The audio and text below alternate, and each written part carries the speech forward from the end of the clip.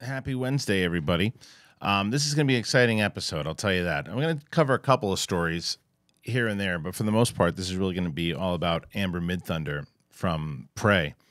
Uh, I had a chance to sit down and talk with her for a little bit, and she's really, really, she's going to be a major, major superstar. She already is turning heads, and people are talking about her performance in Prey, and rightfully so. There's uh, there's rumors of uh, there's Emmy buzz, should say. There's Emmy buzz, and there should be. Uh, I wanted to chat with her about the process alone, about going into something like that, working with the director, kind of getting into the process of realizing the the gravity of a predator movie, all that and more. I talked to Amber about, but I will cover a couple other stories. There's a big, massive story about Marvel. They're not going to Comic Con. That's usually where they own. They usually are the kings of Comic Con. Marvel with their panel. I shouldn't say they're not going to Comic Con. They're not doing a Hall H panel. They are doing something at Comic Con, but they're not going to do Hall H, which is usually where they do a big uh, announcement. And the pending SAG strike and a few other things are causing that. Um, John Wick is going to be a director's cut. Talk about that briefly. And Ang Lee's Hulk turns 20 years old. How about that? That and more. On the show, uh, I am getting ready to go to New York. I'm going to be in New York really, really soon. So hopefully you guys will be there. We're going to be there this Friday. If you can't be there with us, you can get us get it at the uh, live stream, and that's thekristianharloff.com. Please make sure you head on over there. I would appreciate that, and I hope to see you there. The other thing we're really pumped about is this one, Katee Sackhoff, where I'm uh, producing this show, blah blah blah, with Katee Sackhoff, and she just announced the first episode is going to drop on her YouTube channel on the 28th as well as a live show at San Diego Comic Con, July 22nd on the uh, on the strip there, Gaslamp District, and it'll be at the American Comedy Company, July 22nd from 4 to 6 p.m. You can the same thing. You can go to blah blah blah Katee dot com and you can either get live tickets or you can get live stream tickets and there's a really cool thing she's going to be doing at the end of the the night if you're part of the live stream you'll actually she's going to take the phone with her, and you can travel with her from San Diego all the way back to um, L.A. And she'll do Q and A's and all that stuff too. So head on over there; it's going to be a lot of fun, and you'll be supporting myself as well because I'm producing that show, and I'm very excited. You guys see the guests on that show; it's going to be a lot of fun. Um, okay, let's get into it. Let's talk about it. Cool, perfect, great.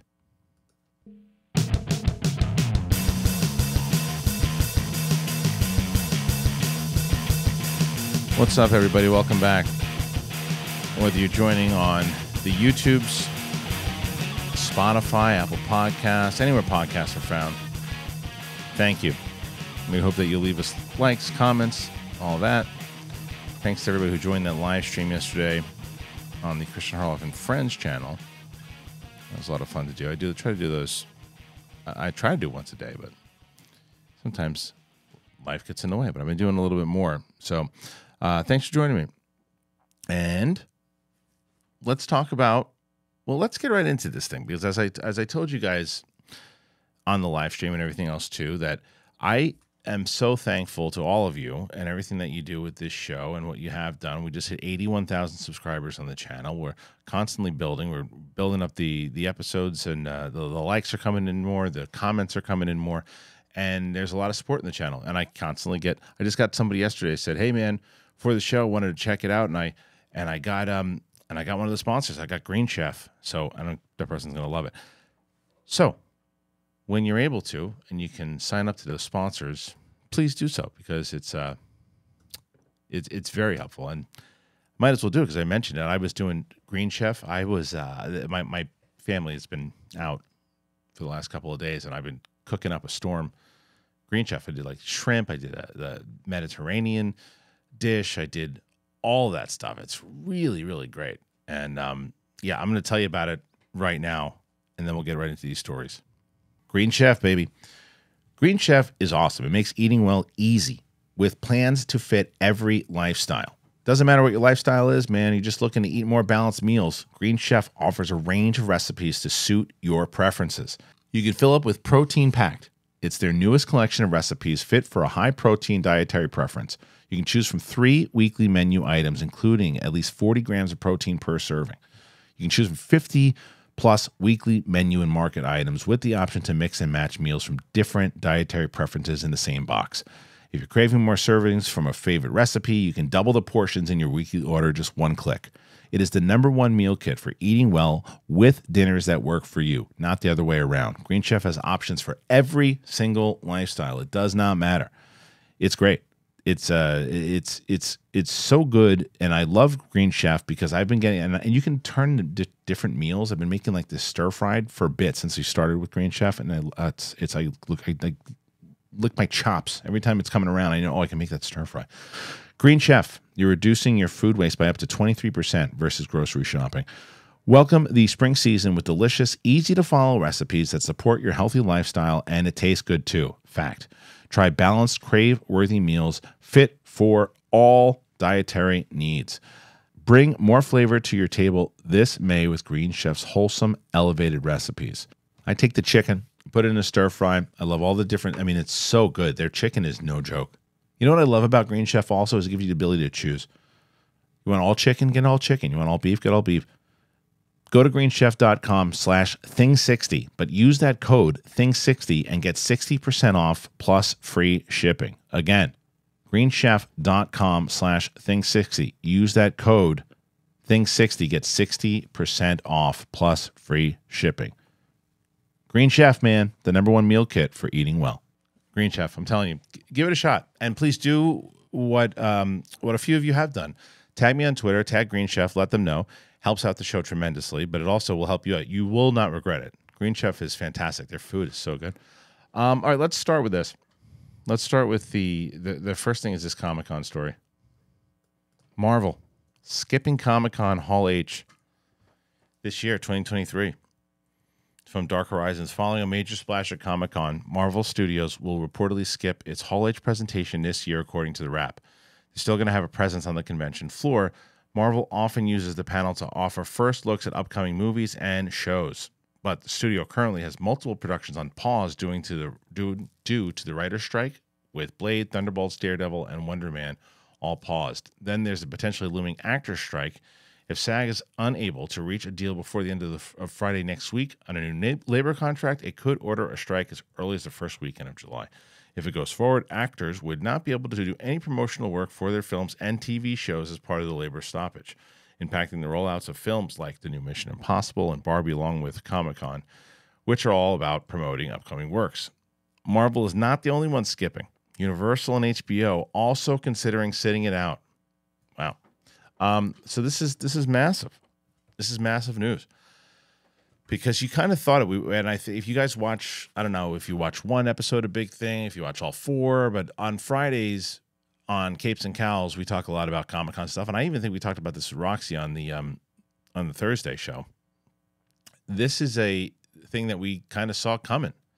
That if there was this strike, if it was going to happen, if all these potential uh, delays and things were happening, studios were going to pull out of it. Now, there's still going to be a presence. Someone said, Well, do you think they'll cancel Comic Con? I said, No, they won't cancel Comic Con because, as they said, they have display stuff. They have comic book people there selling uh, merchandise and toys and, and, and all that type of stuff and comics. You know, it's, it's essentially what it was. There will still be parties. I don't know how many actors will be there doing that, but I wonder what the what what are the rules for people that are out there doing stuff like that? What are people, what are the rules about people doing podcasts in general? You know, just in general. So that's a curious thing too. Like the guests that that come on to shows, or you look at somebody like like Michael Rosenbaum, like if he has guests on, can they talk about anything movie related? Not really. What's like what are the rules? I don't think anybody really knows it yet. So that's an interesting thing to find out. But as far as Marvel goes, it's it's a big it's a big big move because they are usually the ones who have the most um, buzz so I think it's smart for DC at the moment and Warner Brothers to not say anything just yet about not going. Because if somehow the SAG strike do, does not happen, which I still don't, for some reason, I don't feel like it's going to, but if it doesn't happen, um, Warner Brothers could now own it. Could be the ones that are the uh, the talk of the town because who else? Because there's no there's no Marvel versus DC showdown anymore. It's just going to be DC, and they'll be the ones who are are kicking ass, um, or nobody goes. Interesting. I don't know. What do you guys think about it? You think that this is a sign that more studios are going to drop out? There's not going to be any presentations whatsoever. It's going to be just a, you know, people hanging out in San Diego type thing. No big, no big, massive Hall H events. I mean, somebody will be in Hall H, but won't be like it normally is. So I'm very curious to hear what you guys think. Make sure you comment. Let me know. All right, let's get to the the next one. I want to talk about this. Ang Lee's Hulk, 20 years old. Again, Dark Horizons. Today marks the 20th anniversary of Ang Lee's Hulk. This was yesterday, I guess. A movie widely dismissed as the time with mixed reviews, praised by critics for its ambition and style, but criticized for its lack of action and visual effects. Hulk came just a year after Spider Man, Sam Raimi's Spider Man, and it swung into cinemas to great success. Just a month after Bryan Singer's X Men 2, which also drew rave reviews, the audience was ready for Hulk all around the same lines, but they got something much more experimental, a dark and often introspective psycho, psycho thriller of repressed trauma, bad dads, and dangerous genetics. The story mashed up Freudian tropes, Greek tragedy, and a dash of PG 13 Cronenberg body horror. I think this guy likes the movie a little bit more than I do. Um, so, anyway, it's uh, I guess some people have liked it over the years. This guy certainly does. Who's this? Garth Franklin. Garth Franklin loves it, but I I'm not a I'm not a big fan of that movie. I try to watch it again too. It's there's one pretty great. I mean, it's there's parts of it that are okay, but the problem is that the stuff that they do with the the big action and everything else too. The stuff with the dogs was was fun, and the stuff with the tank was was okay. I, I actually don't think the story was very good. Um, I'd probably have to revisit it again. I saw it uh, five six years ago, but Ang Lee, I mean, you know, really good filmmaker, doing Hulk was an interesting choice at that point, right? So I remember people being hyped about it. I certainly was hyped about it, but I was I was bummed about it when I saw it as well too. It's, I think it's like fairly fairly dull, if I remember correctly. Um, I did I did see it. When the hell did I watch it? I feel like I watched it five years ago. Maybe I'm wrong. Maybe I'm making that up. But I can remember. Maybe I just saw clips on YouTube. I, maybe I do have to go check that movie out again. I don't know. But I just remember not liking it. I I, I like the Incredible Hulk a lot more than most people. I think it's a really good movie. It's really it's it, I like watching it. I like rewatching it. I saw it a couple times in the theater. I like the music. Um, I do think it's an underrated movie, but not everybody agrees with me there. Um, all right, next one. This was an interesting article that came out. Uh, Chris McQuarrie and Christopher Nolan both talked about the dangers of AI. AI, you start seeing it everywhere now, right? So the Mission Impossible films have dealt with various threats over the years, and the upcoming Mission Impossible Dead Reckoning Part 1 is going to deal with one that's very current and that's artificial intelligence. The rise of the likes of Midjourney and Chat GPT in the past year has raised obvious questions about humanity's future with technology. However, the new two part mission was conceived five years ago, making this a very wary timeline on the part of writer director Christopher McQuarrie and star producer Tom Cruise. Speaking with Collider this week, McQuarrie said they were having the earliest conversations about the film's threat back in 2018. When is that all? That's when the AI idea came up. McQuarrie says, We've done nuclear threats, we've done chemical threats, biological threats. You did the rabbit's fool, and God knows what the threat was. In trying to keep it fresh, we were looking for outward. And the big conversation I had with Tom Cruise very early on was technology, information technology, and what now everyone is talking about is AI. He adds that the likens he likens the new films to the Cold War films in which the threat of the nuclear annihilation was very real, a very present thing, and you didn't need to set up a threat as you felt it. Here, though, it's the threat of this new kind of tech. I felt in the zeitgeist this anxiety about technology and what and how technology was beginning to influence our lives. And how do we take that anxiety that the audience is bringing to the movie and give them a release? That's what the movie boils down to. Um, he also says that the upcoming second part will go even further and wilder with AI fears. So, I mean, it keeps going. A lot of people have been doing this, by the way. And there was something I just saw, was it recently? No, it's crazy. There's some stuff a lot. What was something recently? I just saw some AI thing. Is everybody's kind of going after the AI um, movies? Oh, was it that the new uh, Gareth Edwards movie is AI also? So yeah, there's a lot of people doing that, and I feel like we're in that kind of the early stages of, of Skynet, man, Matrix. Like uh, you know, two three hundred years from now, we told you. I mean, they made movies about it in like the 1980s, and you guys you didn't pay attention. You still developed the program. He said, "Nah, I'll be all right." because I remember being a kid, and I think I was like I don't know, fourth or fifth grade or something. And I remember the story. I can't remember the what the short story was called, but it was like a short story, and it was a futuristic story, and they were talking about how the family wouldn't go to the grocery store because all they had to do was go to this screen, push buttons, and then someone would deliver, and within seconds, someone would deliver the um, groceries to your house. And I was like, oh my God, you imagine that ever happened? And it's Amazon. I mean, that was like what, 30, 25, 30 years ago, whatever it was. And um, and I remember just thinking, yeah, that, that was so crazy back then. And, and I remember, because like, yeah, oh my God, can you imagine if that like ever really happened? And like these things that continue, there will be self-driving cars. There will, obviously there are now, but they're just not.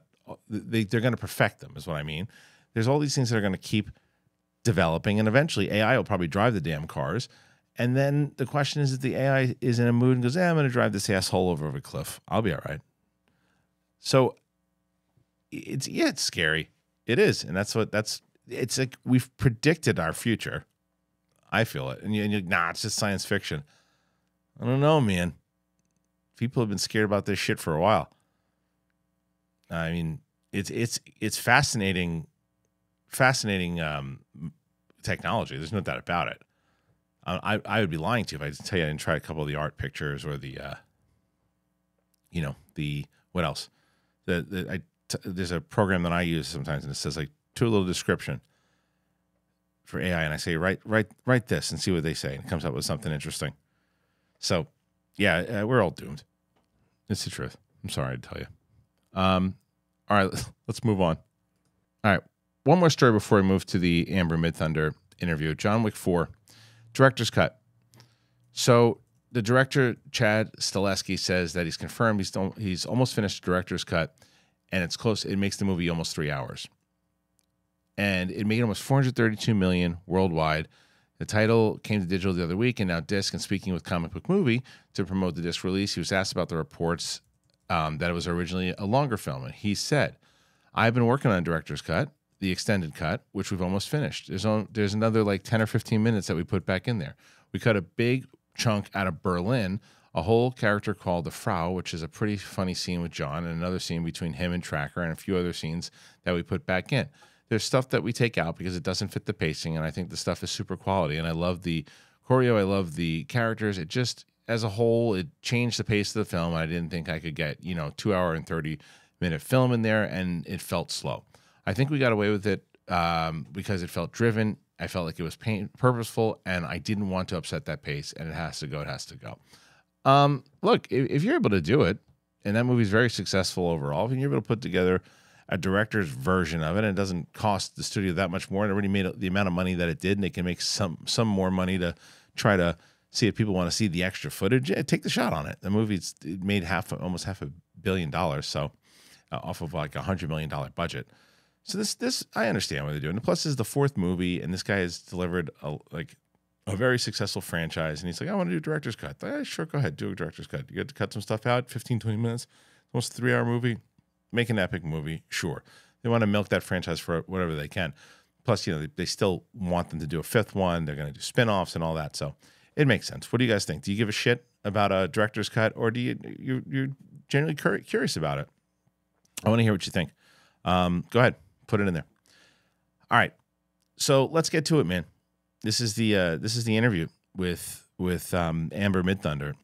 I w- had the pleasure of talking to her and having just kind of a breakdown about the uh, the the whole film that she that uh, about Prey and how she got the the role and and what's great. And I said this to her in the interview, and you'll see it. Um, I could. It, it's it's easy, not easy, but I'm I, I like to get a sense of somebody before they come in you know, before they sit down and start talking, like if someone, and this doesn't always tell you exactly who they are, but it, it, it sometimes it tells you enough if they give you something. And what I mean by that is when someone comes in, sometimes they just sit down, they you adjust the camera for them, you get the microphone, they just want to go into it and they, they just talk. And it doesn't necessarily say anything against their character. It just sometimes says, I just want to come in for the interview and and and then that's it. And sometimes people come in, they and they want to talk and they have some a, you know a conversation up top and they're just and she was just the second she walked in, she was looking at some of the stuff on the on the on the shelves, and she was having a, um, and we were just having a conversation beforehand, and she was, and we were just having like a genuine conversation, but we started talking about Prey so much, so she was just very open about it, and just talking about it, and I was like. I said, I hate to do this, but let's let's let's stop for a second because I want to talk to you about this on air because this is awesome. And she was and she started laughing and she was she was great. She was great. And I'm excited to show you the interview. So go ahead and please sit back and enjoy the episode with um, Amber Midthunder. And before I do it, I also want to let you guys know, as I mentioned before, helps out the show tremendously. Please check out both Athletic Greens and Rumpl. I'll tell you a little bit about them and go right into the interview. Here we go.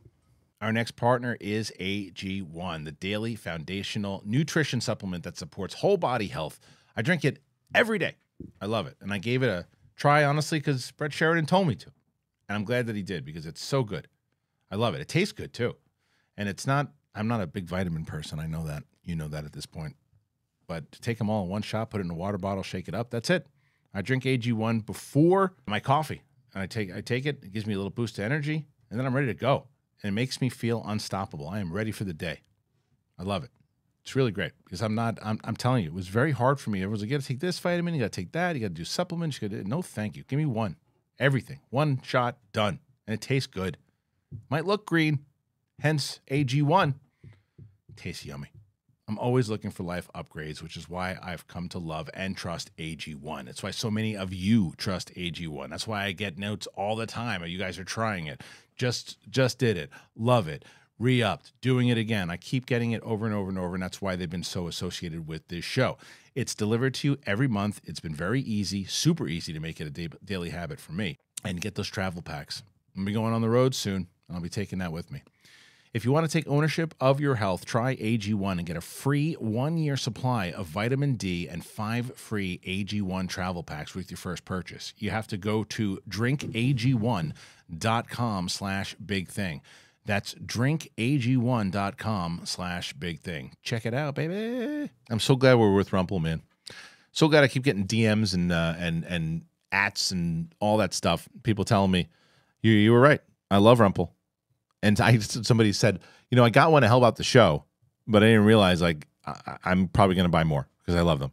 And and they I and if it wasn't for you and your show was just trying to help your stupid ass out, I wouldn't have I wouldn't have done it. I'm glad that I that I did, and I'm glad they did. Rumpl's on a mission to introduce the world to better blankets. They're made with durable, sustainable materials, and they're built to last. They recycle over 5 million plastic water bottles a year. They are B Corp certified, climate neutral, and they donate 1% of all their sales to environmental causes. I love these um, blankets because they don't fall apart. You can take them to a I take them to a soccer field and sit on them there. You can take them camping, and then they have blankets you can just curl up on your couch and watch movies and TV with. I have a bunch of them that I do all that stuff with. They have over 135 unique designs, and there's a blanket for everybody. Yeah, they're not just for outdoors; they're everywhere. You can do it for everything. It's great. You just want to you want you got an outside area. You want to curl up and just look at the stars. Do that. No, I just want to watch TV. Do that. It's the best. They have cozy hemp fleece, Sherpas, everything. Now, go to rumpl.com slash the big thing. Use that code the big thing at checkout and you get 10% off your first order. Rumpl.com slash the big thing. Use that code, the big thing. We're being very serious right now. Ladies and gentlemen, I if you remember last last year, I you know how much on this show I've talked about Prey, and it's one of my favorite movies of all time. And then they announced Prey was coming out. I said, "All right, let me see." And then I told you they did it. They went back to basics. They went. Then they had the Predator versus a kick-ass person that the Predator should not have messed with.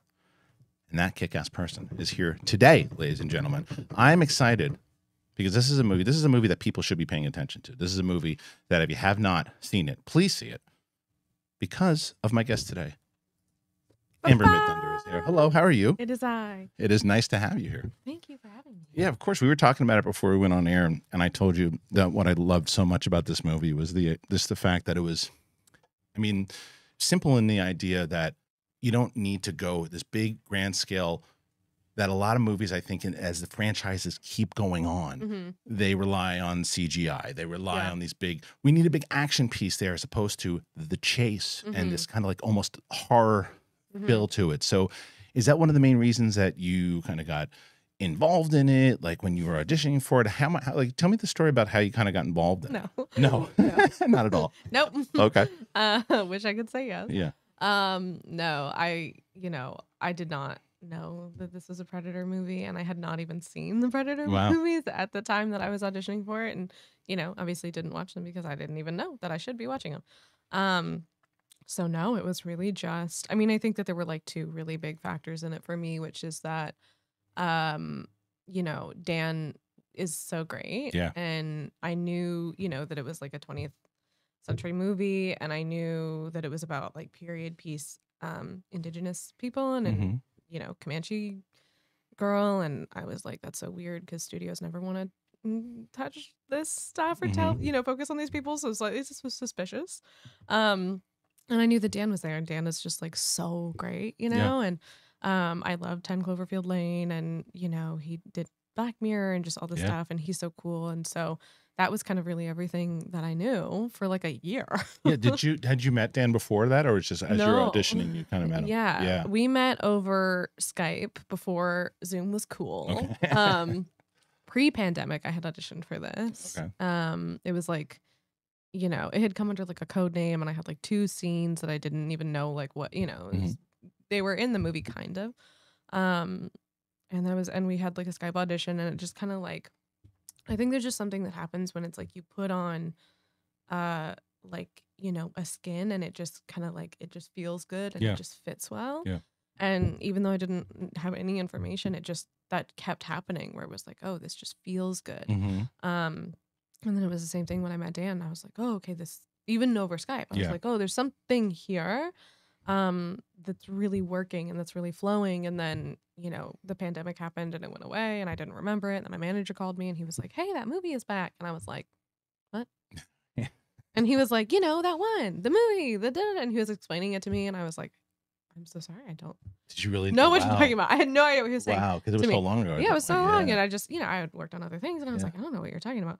Um, and he was like, you know, Dan Trachtenberg, this one, that it, you Skyped over that, and I was like, oh, okay, oh, it's back, oh, and he was like, by the way, you're testing for it next week, Wow. and I was like, oh my god, um, and then so yeah, and then that was, I think it was like two days after that that he Yeah. was like, also, this is a Predator movie.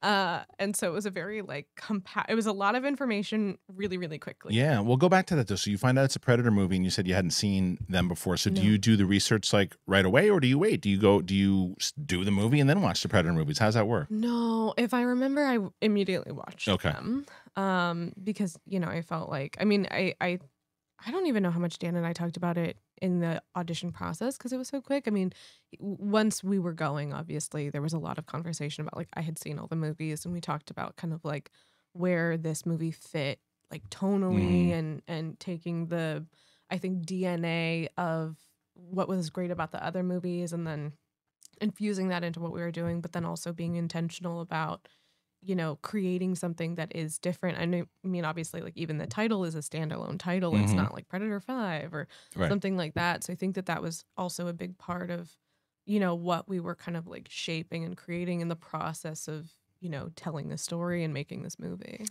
Yeah, it's the most like the first movie too. By the way, like is and what I really loved about the first one is why I loved this one as well Mhm. too because it's just. It, it is it's, it's and it's it's the the message of kind of self perseverance what what you what you can do what you what the human spirit is really Mm. capable of you know Mhm. and because you see what she has to go through Mhm. and especially at that time where she's not she's not you- you're not supposed to be the warrior Mm-hmm. yeah and then the fact that she is the warrior the Mhm. one who's able to to do this so is that i mean I, i'm assuming that's one of the most attractive things about this role I think so. I mean, I also hadn't. I should mention, I also had not read the script at the time that I had auditioned. well, really Um, no, Okay. I read the script after. So it went like I had my initial audition, didn't know Mhm. anything, and then the pandemic happened, and then I came back. Did they were like, you're gonna test for it? By the way, this is a Predator movie. Oh, by the way, here's the script. what was the audition then Um, it was the scene. I mean, they're very different now Yeah. than what they were at the time, but the bones of them are pretty much the same. It was the scene of me and my mom in the teepee, who you know is played by Michelle Thrush, who I love. Shout out Michelle. um, and uh, and then the scene of Naru and Taabe by the fire after he comes back from the with the lion. Mm-hmm. So it's those two scenes. Okay. Um, and we did them in English originally, and then at the task we did them in English and Comanche because he wasn't sure what language the movie was going to be in Okay.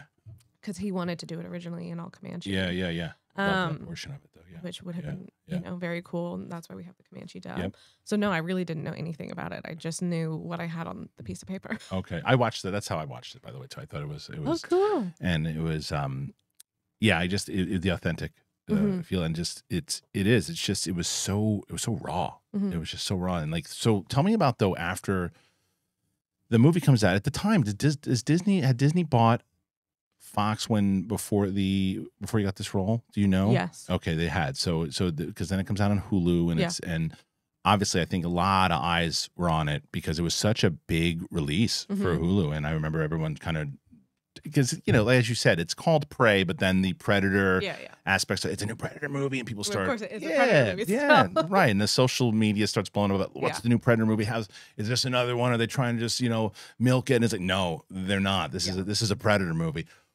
what's the reaction like after and and there's always the nerves of how people are going to take this Mhm. movie. What's that like the premiere you know as far as when they put it out there and like are you nervous? Do you not pay attention to that stuff? Like um i think i don't really i mean it was weird because there was not like you know we had the we had a big premiere but it wasn't like the the theatrical release we didn't get. And so Mhm. it was kind of weird to just kind of like release you know like to just put like a like putting like a small turtle in a pond Yeah, yeah, just yeah. being like survive. You know like you're like i don't know what's gonna Right. happen to this.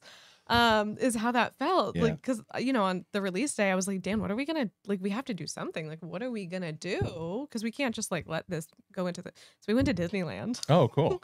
as Yeah. a big group. Yeah. Um and yeah it was really scary. Like it was i think i mean it was funny to me originally like how angry people were i think at our at our movie um even when it came out no, no, like Oh, or before when it's that. announced. Yeah, Yeah. like we we Dan and I talked about that a lot, especially like while we were shooting, is of like just how people felt about the concept Yeah. and the idea of making another one, and then and what is it the idea that oh a woman can't fight the predator that yeah, type of thing yeah, lot. yeah, I think that there was a lot of layers. I feel like there were people who were upset at like, oh, another Predator movie. What is this going to be? Mhm. And then you know when the concept was announced, I think people didn't like that. Of like, oh, there was a lot of people who were like, this is just like you're trying to shove something woke down our Mhm. throat, and that's obviously not the case.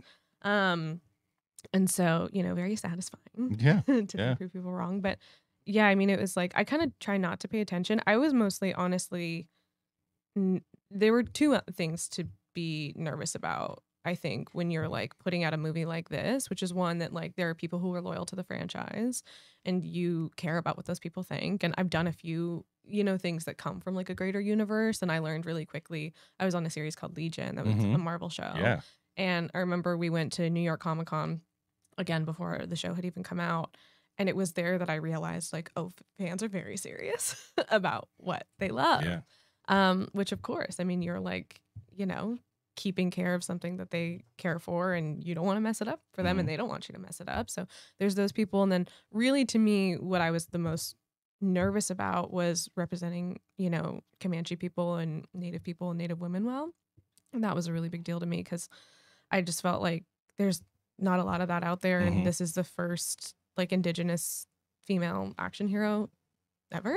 Yeah. Um, which is a huge deal and a very scary thing to I mean, it's exciting. Um, but I think carrying that responsibility also really scared me. So i just wanted that to be everything. I wanted to be able to step into that as fully and completely and do it the justice that it deserves. Yeah, and it's and, you, and of course when you're coming into a role like that, it's like and you feel like there's like some big shoes to fill overall, right? Mm-hmm. To what you have to do there, and I think from what you're saying, it, it makes sense from the time period for what she has to do, and she's setting the stage to ultimately getting to where we do in the 1987 version and all that because the Predator Mhm. has been here before, and this Mhm. isn't the first time, and Mhm. even though Arnold's got to deal with it later on, Yeah. You know, it it it it's Not who did it first. That's right. You did it first.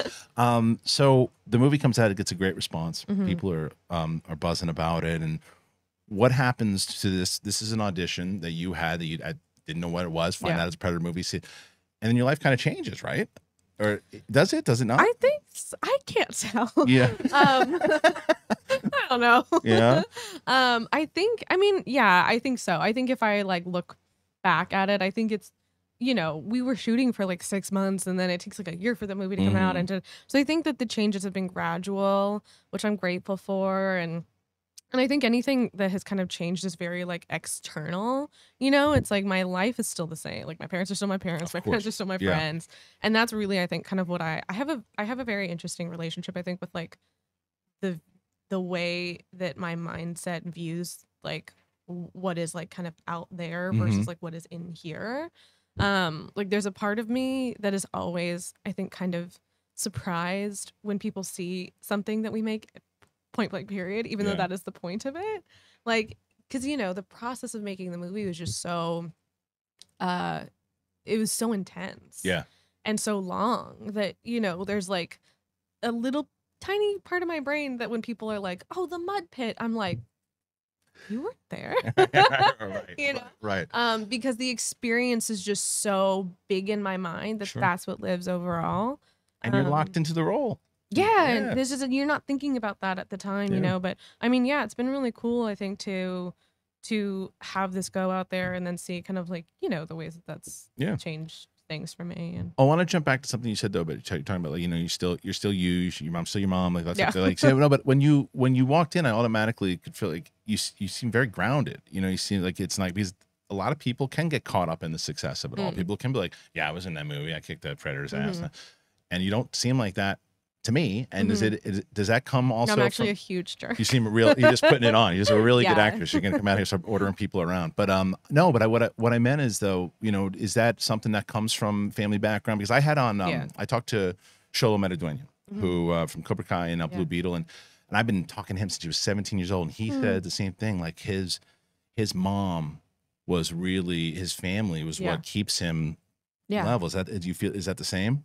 Yeah, for Yeah. sure. I think that like my family and yeah, I think I'm just really fortunate. That does start with my family. I think I'm really fortunate to just have like normal people around me Yeah, who are just yeah. very like, you know, both my parents work in the film industry and it was never a presence in my household. Mm-hmm. Like it just was not, you know, like we watched movies because we love movies, but it wasn't But it didn't bleed into your their life. jobs yeah, this and did it. Like I just didn't even fi- I had to find my way to acting on my own that's great. um you know and then i was like what? You guys are right. How did you not? Yeah. and they were just like i don't know. You, you Figure You it out wanna do it, you do it. Um and so you know they're supportive but they never like connected what they did to what i did. And and also like i think culture you know like being grounded into like i was raised with like you know all of my cultures in my household. And um you know having that i think is really like when you look at like the values of what those things are about and keeping that with you every day. I mean i was like just in montana with my family Mhm. there and like it's i think it's hard to let like those things like let things in like ego and um any kind of like arrogance come in when you really genuinely stay connected to like where you come from and the people around you and who you're doing it for and who you're representing you Yeah. know? Well, I saw that. I, I can't remember recently who the hell it was, but it was it was a really big actor that would go back and um would just go back home and go Mhm. back and and I can't shoot. I can't remember. It was someone really massive. Would go back home and just kind of chill out and get. Yeah. gra- Oh, it was, it was the Michael J. Fox uh, documentary on Apple. oh oh i haven't seen it Oh, it's so good, but it's like it's tough. It's Yeah. tough to watch. Obviously, he's going. Uh, But he, yeah. but in the height of Back to the Future and all that, Mhm. he would go home. Mm. He would because of the because his dad. You're not, you're not Michael J. Fox the movie star. You're Mike. You know, Yeah. and you go watch the car. Like Yeah. and and that, but that's you need that in your life. yeah You really do, and so you can you can tell just from hearing that one sentence of you saying how you mentioned that because if you mention that it's in your mind and that's something as you further along in your career you'll Yeah. you'll, you'll continue to keep that for yeah. sure. Yeah, I think it's I think that like, you know, I do I think all of us, I think that to be good at I don't think that you can like get good at or like even making this movie. I don't think you can try to like I don't think you can necessarily make a good movie just by trying to make a good movie. Right. If that makes sense. I think Yeah. that like, you know, Dan I was just talking about this like Dan cares so much about like he made this movie because he loves predator movies. Yeah. Like he's there because it actually interests him and because he really cares about it and that's also why I do what I do and I think Mhm. that you have to, you know, really like be there cuz it's not like it's not always super fun Yeah, to be, right. you know, like Yeah. this movie was not always super fun. There were Oh, I'm moments that were really fun I'm sure. but it was not always really fun. And so it's like you have to be there. I think you can't just be there for like the end product. You Mhm. have to be there because you love doing it and you love the process. And so then to me, I think the kind of like external part of it is very I think like comes last. It's Yeah. kind of like secondary to everything else because like I'm there because I want to be there. Yeah. And that's really that's it, you know? Yeah. Did you feel?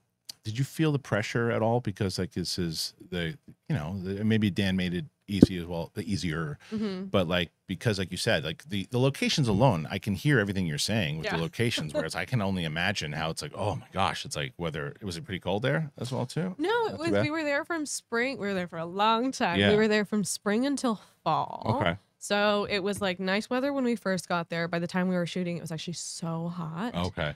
Um, Dan and I had like a running joke of like, oh, is this outfit going to be better to be hot or cold in? Yeah. We're Yeah. find Yeah. out. Yeah. Um, and they were both equally uncomfortable. Mhm. um, but yeah, it was really, really hot in the summer. And then by the time we were done, um, which was like all day time stuff that we were shooting, and then by the time we were done, we were doing nights, and then that was fall time, and so that got pretty chilly. So we experienced all the weather. I'm sure you did. And then, but yeah, but as far as the pressure went, so you didn't, did you didn't feel like there was any pressure on you or to this lead of the movie, taking the I mean, I did have those thoughts in my head. Yeah. You know, I did have those things of more. I think more that was about like, oh, people, you know, have put trust in me and people Yeah. are believing in me. And is that found a lot of like, you know, imposter syndrome thoughts Sure. of just like, Sure. Oh, is this, you know, do I, should I be here and stuff like that when you're like, yes, 100% I should be here. right. It's like this Um, internal battle you're having with Yeah, yourself. yeah, yeah, Which is also very, I think, aligned with the movie, fortunately, and kind of everything that she's going through of Yeah. like being this person who's like so viciously confident, you know, in terms of when she speaks on what she is going after, when she's like, no, I want to hunt, I want to be there, I deserve to be there, I know that I can. And then when you see her and she gets alone and she's there, she's like, oh my God, I don't know if I should be here. Yeah. Um, and I think that's a really relatable feeling. And what's important is that it's like, you know, those thoughts come and go, and that those are just thoughts, and that really it's like you're there because you're supposed to be there. Right. And that's like the story I think that she goes through, as well as kind of also what I was experiencing to a degree.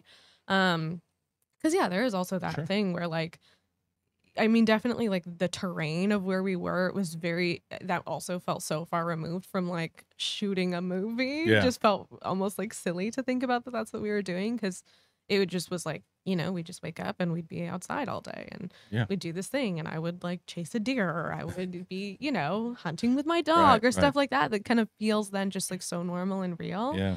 Um, and then, but there was one time I remember, um, you know, the, the clapperboard is going, and I forget it was like, you know, scene 32, whatever, take Mhm. something P. And he went, P for Predator. And I was like, oh my God, this is a Predator movie. and I just had this Right. moment. And his name is Perry. Yeah. And I looked at him and I was like, Perry, this is a Predator. Freaked out. And I was just having this moment. And I was like, oh my God, this is so cool. That's pretty And awesome. then I was like, okay, sorry guys, we gotta. Well, tell me about seeing the predator for the first time though on on set though when it, when they Yeah. have when they have the, the because that alone it's such an iconic costume Yeah. and it, it's what Stan Winston didn't know that like the hmm it is um yeah what what's that like the first day where it's got to like snap you into character immediately Yeah, hundred percent. I saw it, and um, I mean, it was like there was like whispers. Of, you know, there was like slowly people were disappearing into the yeah tree. Everything is trees. It's trees everywhere. So you know, there was one specific direction of tree that everybody was disappearing into, and I was like, oh, I wonder, you know, what's going on over there? And it's kind of very like, oh, nothing, nothing's happening. And I was like, okay, I don't believe you. um, so I walked, you know, so I followed the crowd, and I saw like a small huddle of people, and then the people kind of stepped back, and I saw like movement in the trees, and I got closer, and then I saw the suit, and I was like. Oh my god. And I looked at it and my like Naru brain took over and I was all, yeah, I could take him. That was the first thing that I said when I saw it. I was like amazed. yeah And then I was like, nah, that's not hard. that's why you got the gig man be- yeah Um, and it was super cool. And then I like walked up to him and then we and we were just like looking at each other and I was like, you know, because is everything. I mean, they just did such an amazing job on it. Like I think that's something also that made our movie different is that you know it's not like tennis balls and green screens. Right. It's literally Yeah. like a man in a suit out there, and the suit looks so good. That's why I, that's why I enjoyed it Yeah. because like I've been like so Terminator the first Terminator is one of my favorite films of all time and everybody loves the second film. I like the second film a lot, but I love that just gritty raw focus on the characters, focus on Yeah. what's going on and that's what that's what Prey did for me Mhm. immediately. Um so what comes next? Is there talk of a second one? Are you guys any anything as far as uh potential you know Just kidding. Nothing that we can talk about. Um, I mean, listen, I would do another. Yeah, You know, I yeah. think I would do it. Yeah. I don't know what the plans are, but nothing nothing I would. nothing yet. I mean, no, Okay. you know, I Fair- don't know, but Fair enough. Fair enough. I would. Um, I mean, I love these people. I love this movie. I Yeah. love this character. So if there was, if there is a way, you would be open for it, but would Yeah. and, and you'd want Dan to come back, obviously. for sure. Yeah. Uh, um, what if? What about opportunities that that as far as coming out afterwards? Because we had we had talked, we were looking at some of the stuff that was on the on the shelves Mhm. and stuff. And we were talking about Star Wars and other things too. Have you had an opportunity to?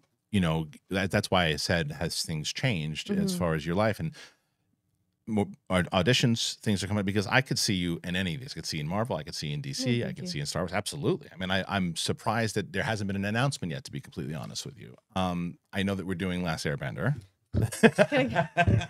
You're That's like, I don't good- know. She slept for the rest She, of the she, day. that's it every time. Every time we talked about Prey for a while, um, and and then she just fell then asleep. she fell asleep every single time. But I know there's only so much you can talk about with Last Airbender. Can you talk about anything in Last Airbender or nothing at all? I don't know what I'm allowed, Allowed to say? Okay. Um, but I'm really excited. I mean, I loved Airbender as a kid, like just obsessed. Um, and then I rewatched it recently, and like, it's just you know probably around the time that I was like prepping for the show, and it was Mhm. just like, I just I was like, if ten year old me or five year old me or whatever, if little me like knew that I was gonna be in the show at all, and then if I told her that I was gonna play Princess Yue, she would poop her pants like just so excited you know Yeah. like it's just the coolest thing ever um so i'm really excited i'm excited to see it and Fair enough. We'll we'll, we'll move. i don't know what Yeah, no, it's fair. I don't want to get you in trouble. Um, but but when it comes to that other stuff too, and maybe it's just because you're busy shooting that, or to has there been?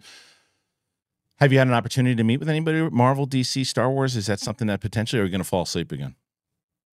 just. Um, yeah i mean you know i'm very open to that i think that like it's you know i grew up doing like jujitsu Yeah. and you know i had like horses and dirt bikes and stuff like that and like that archery and like Mhm. that was the thing about this movie is that like even you know months or maybe a couple years before i had bought my dad a set of throwing axes for father's Wow. day so like this is just like how we live yeah. um, and so I think that I've been fortunate to end up in these spaces where, like, you know, I think Legion was the same. I, you know, I think this is the same. That it's like, it's not just about any. It's not like it's not just a straight drama. It's also not just like action for the sake of action. Mhm. It's like I think it. I've been fortunate to be in these spaces that really blend like people who care about their characters and their stories, and then I also get to do really fun stuff Yeah. um because i love you know i love fighting i love action sequences Yeah. i love all of it and also i am like you know i do love just acting Yeah. um and i love storytelling and i think that it's really cool to be able to blend those and kind of go off in any direction that you so please and so yeah i'm definitely you know i think that anything that holds those qualities is something that i'm interested in Fair enough. Um, so I also like to ask, uh, where what do we do as far as just think, like when you get an opportunity to relax, when you get an opportunity, are you more of a obviously chucking axes and at trees and stuff too? Are you going going outside a lot, or um, or you sometimes you like to curl up on the on the couch, watch TV? You're watching certain shows, movies, or yeah, you i'm both. a big couch potato You big catch. What what's Um, what's some of the shows that you're you're digging right oh now? my god. Okay, well, Dan and I really this is one of the first things we bonded over Yeah. was our love of Love Island. Oh my god, yeah. He's Roxy talks about that all Love the time. Island yeah. fan. Yeah. Um, and we I don't even remember how that happened, but he had bought us. We have matching Love Island hats. hilarious. Um, Rewired is their brand, and so he bought us. I have little. We have little rewired hats. Um, because we love Love Island. Yeah. He texted me the other day, and he was like, "New UK season out." he was like, "New format." And I I was like, love "What the does that relationship that you guys have, man. Um, Because you tell you really bonded. It's yeah, awesome. he's yeah. super. You know, Yeah. he's just a cool. I mean, that's what it's. I think is very fortunate to just be around somebody who's just like a normal, nice person, you know, and then also is supremely talented at their job. I and a Love like- Island fan. and a Love Island fan. Right. Um, no, so there's Love Island, obviously. Of course. Um, what else? I just watched. I was just hanging out with my parents. They love murder documentaries. So Oh. Yeah, they're like big Dateline fans. Well, tying it back into to Predator and everything too. I'm watching that Arnold uh, doc right now. oh yeah, It's awesome, and I haven't seen it yet. oh, it's fantastic. Um, it's really, it's really, really, um, it's interesting because it's like it goes through like four parts of him, like from his. I don't know how much you're familiar with this story, but the idea of you know what he did when coming over from Austria, being uh, the bodybuilder that he was, Yeah. transitioning, seeing the goal Mhm. of what he wanted to do, be an actor. Like, yeah, right. Guy just can't Yeah, speak yeah. English. And then he becomes the biggest movie star of all time. And they say, Yeah. oh, you know, you're making millions and millions of dollars. Well, now I want to be a politician. Politician. Yeah, okay, sure. we'll go for it. He becomes the governor of California. It's crazy. It's a crazy story. I would love to watch it. it's actually. really, really good. Did you? I'm sure you get this. You've gotten this conversation. I'm sorry, it's a very probably cliched conversation. But did did um did Arnold reach out to you at all? Did you talk to Arnold? Have you met Arnold at all? no, none of none him? of the above. I've not interacted Really? with him. Um, no, I think that it's just. I don't. I mean, I don't know. I think Yeah. you know, it's just very. I imagine. I mean, I don't can't speak for him at all, but I feel like I think that it it never even kind of. I think early on it had crossed my mind, Mm-hmm. but it also didn't like.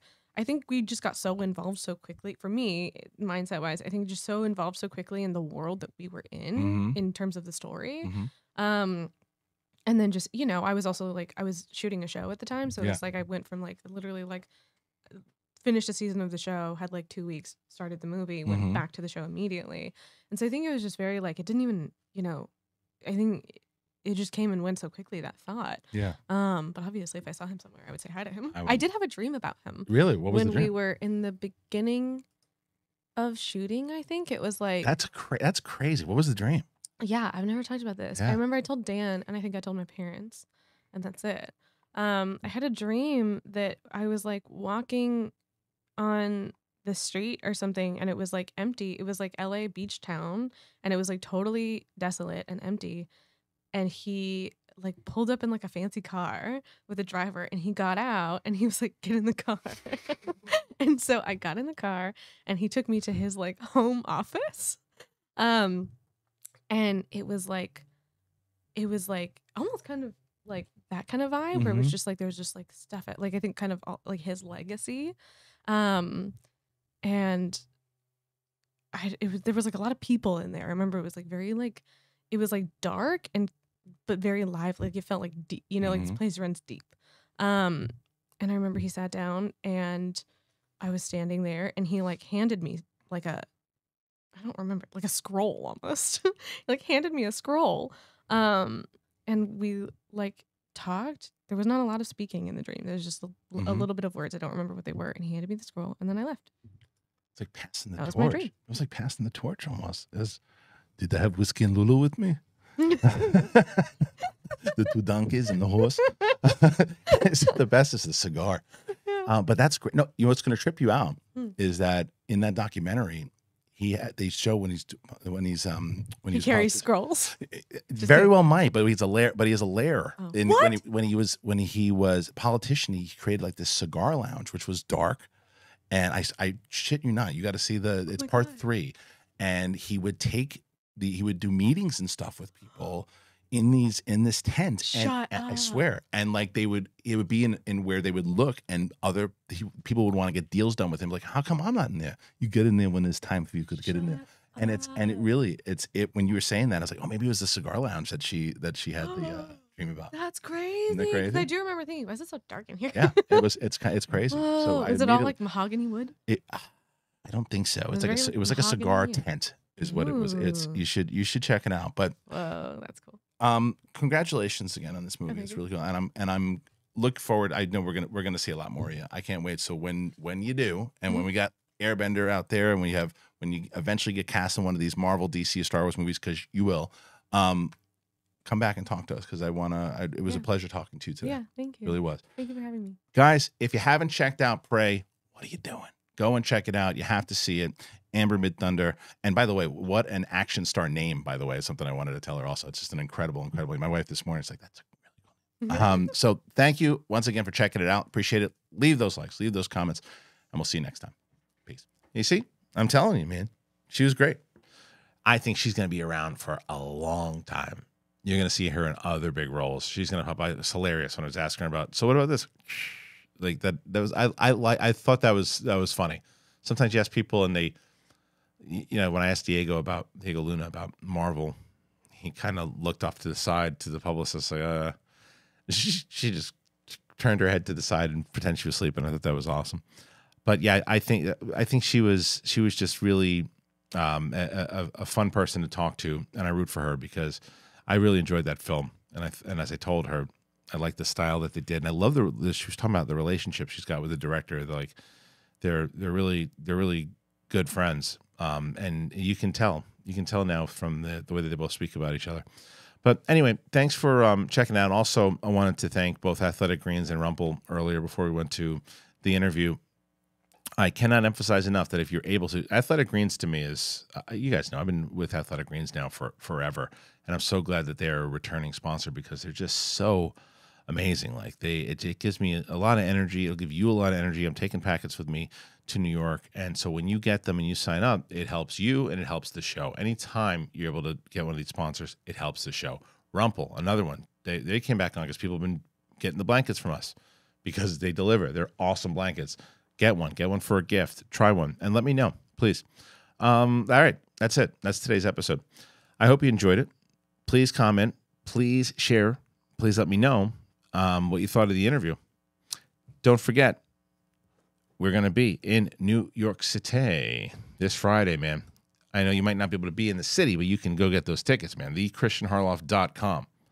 Watch it, stream it, and it'll be available forever. So it'll be up there. You can get the stream. Myself, Mark Ellis, Martin and Corey, Brett Sheridan, Jen Sturger, Kate Mulligan, we will be there. Um, reminder speaking of events,